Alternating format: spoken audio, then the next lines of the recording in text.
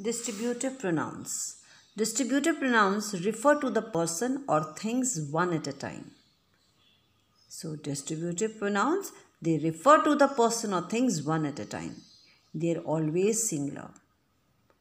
They are always singular. See the terms which we use for the distributive pronouns?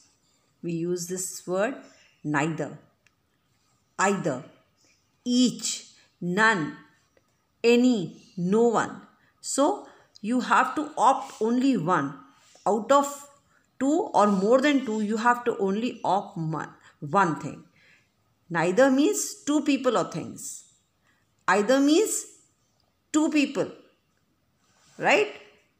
Each more than two person or thing. It can be more than two person.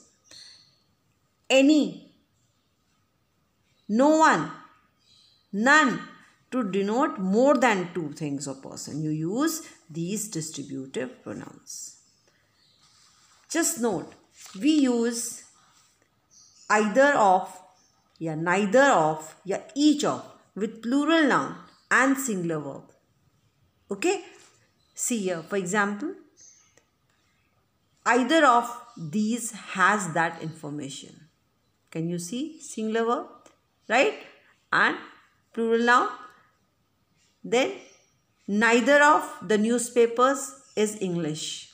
Plural noun. Each of the boys, plural noun, draws a picture.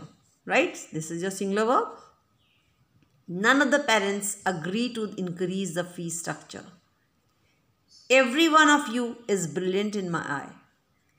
Any of them can attend the class.